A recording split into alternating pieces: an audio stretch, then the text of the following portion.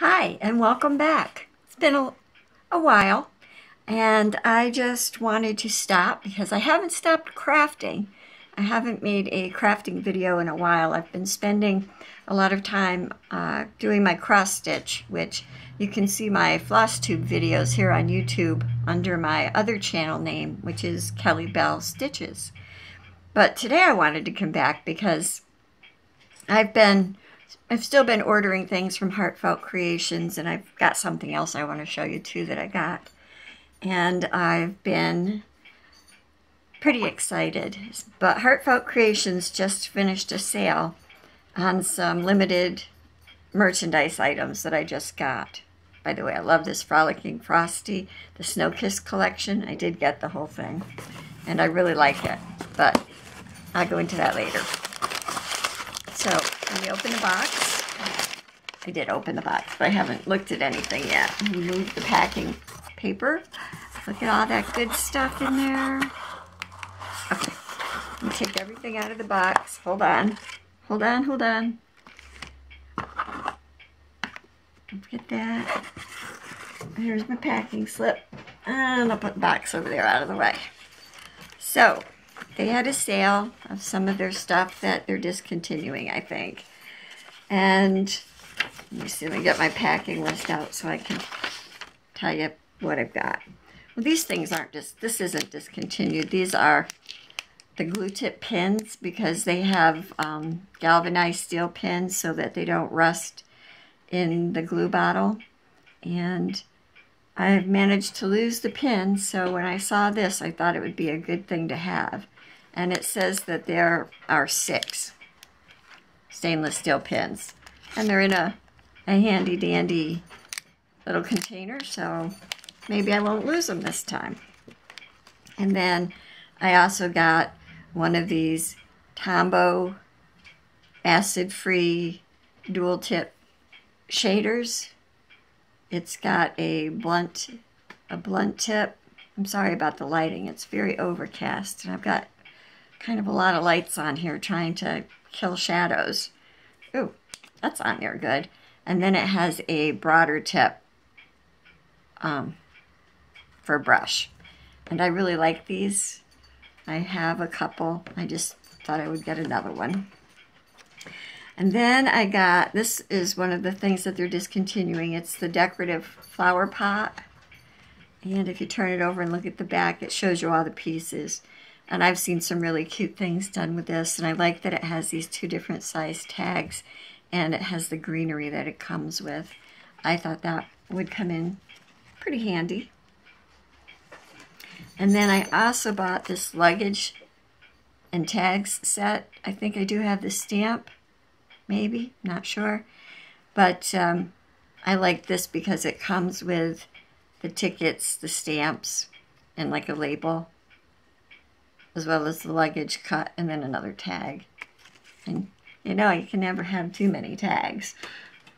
And then I I know I've done some videos where I showed myself using these stamps, like for my journal that I made and things. But I didn't buy the dies at the time. And I cut them all out by hand. And I really like the stamps. I think they're beautiful. I love to color them. I'm going to love cutting them out even more now. Because that was a lot of cutout work. So, and these aren't discontinued. They're, they're still stocking these. And this is a beautiful set, if anyone's interested. And then I also bought, this is not, this is also not discontinued. I have the Cut Mat Create 1A, and I just bought the 2A. And there's another set. There's a 1B and a 2B um, that I haven't gotten yet. But these come in handy because they'll actually cut mats and they come with some additional little pieces for detail. So I really like that. So that was my Heartfelt Creations order.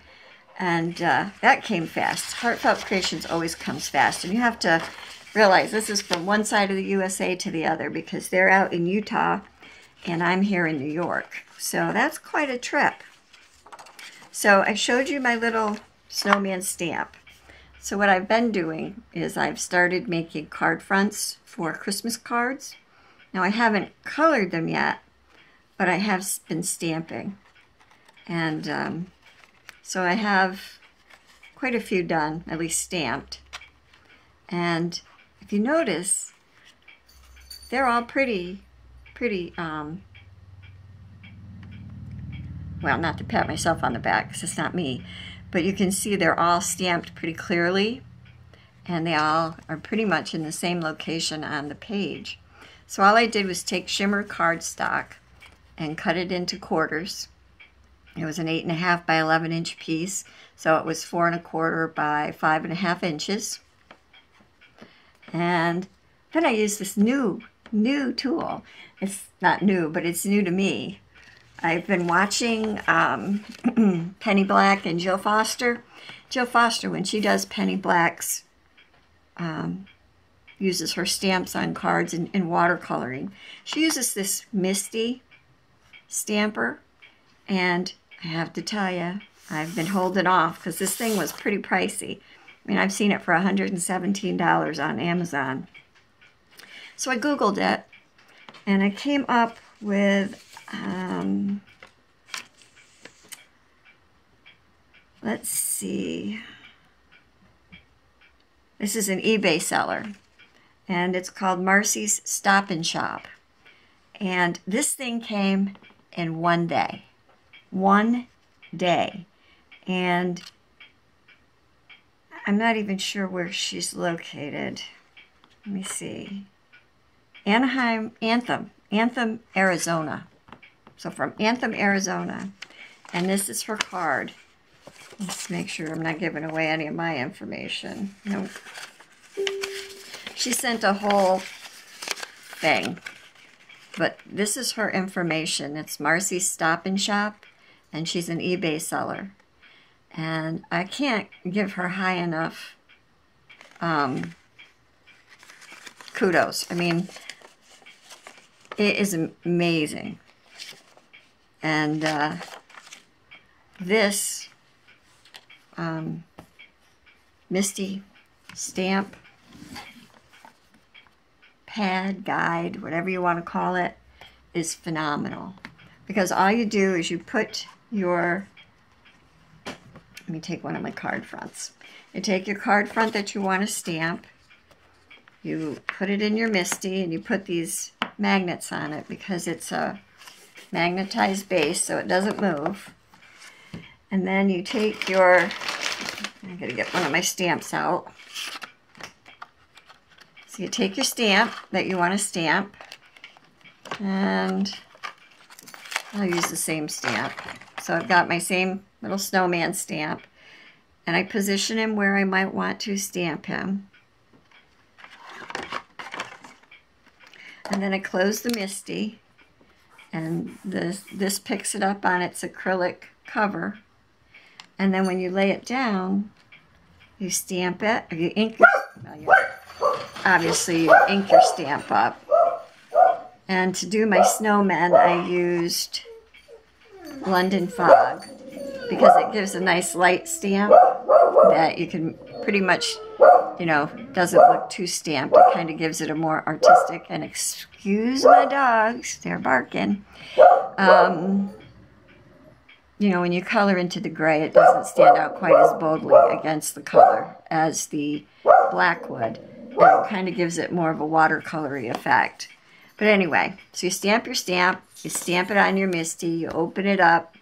If you want it stamped a little bit, like a little bit misses or whatever, you ink up your stamp again and you close it down and you don't get any double lines. It all stamps back down in the exact same spot.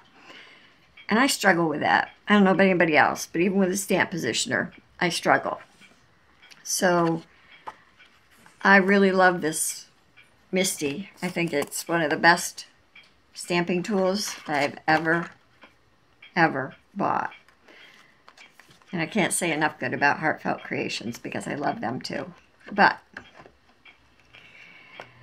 I wanted to come on and show you these uh, cool tools and new buys and say that I'll probably be back soon with some with at least one crafting video because I might come back and put a couple of Christmas cards together.